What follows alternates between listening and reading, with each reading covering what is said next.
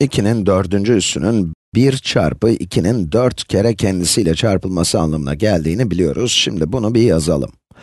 1 çarpı 2 çarpı 2 çarpı 2 çarpı 2. Bu da bize 16 sonucunu verir.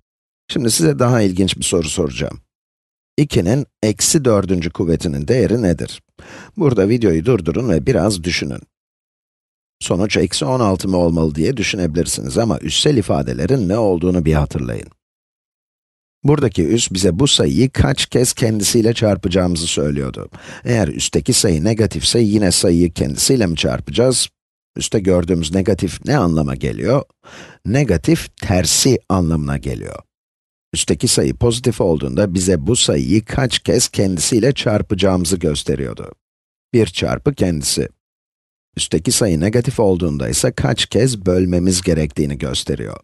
Yine 1 ile başlıyoruz ve bu kez 4 kez kendisiyle bölüyoruz. 2'ye bölmekle 1 bölü 2 ile çarpmak aynı şey. Yani buraya 1 çarpı 1 bölü 2 çarpı 1 bölü 2 çarpı 1 bölü 2 çarpı 1 bölü 2 yazabiliriz. 4 kere 1 bölü 2 ile çarpmanın 2 ile 4 kere bölmekle, 2'ye 4 kere bölmekle aynı şey olduğuna dikkat edin. Ve bu durumda da hesaplayalım. 1 çarpı 1 bölü 2, 1 bölü 2'dir. Çarpı 1 bölü 2, 1 bölü 4 olur. Çarpı 1 bölü 2, 1 bölü 8 eder. Çarpı 1 bölü 2, 1 bölü 16 eder. Sanırım buradaki ilişkiyi gördünüz. 1 ile başlayıp 4 kere 2 ile bölebilirdik. Veya 2 üssü eksi 4 ile 1 bölü 2 üssü 4 aynı şeydir de diyebiliriz. Üste yer alan negatif işareti bunu bölü olarak yazmamızı gerektiriyor.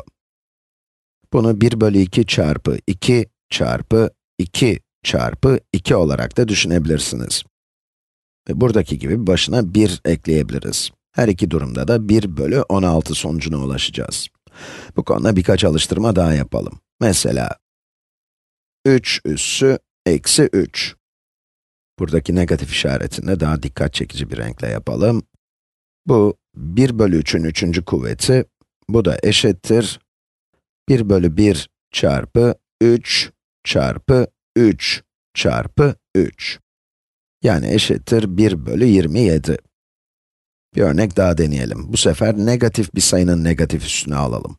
Mesela, eksi 2'nin eksi 3. üssü. Sakın burada iki tane eksi işareti gördük diye bunların birbirini götüreceğini düşünmeyin. Üste gördüğümüz eksi işareti ters işlemi, yani bölünmeyi ifade ediyor. 1 bölü eksi 2'nin 3. kuvveti. Bu da eşittir 1 bölü eksi 2 çarpı eksi 2 çarpı eksi 2. Bu da eşittir 1 bölü eksi 8. Yani sonuç eksi 1 bölü 8'miş.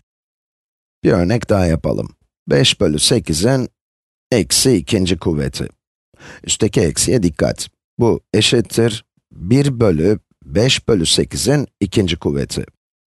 Bu da eşittir 1 bölü 5 bölü 8 çarpı 5 bölü 8. O da ne oldu? 1 bölü 25 bölü 64. Bu da eşittir 64 bölü 25.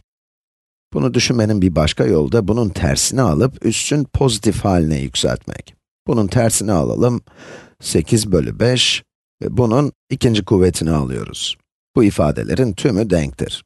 Aynı yöntemi tabanı kesir olmayan sayılar için de kullanabiliriz. Örneğin burada 2'nin tersini alalım, yani 1 bölü 2 ve bunun pozitif dördüncü kuvvetini alalım.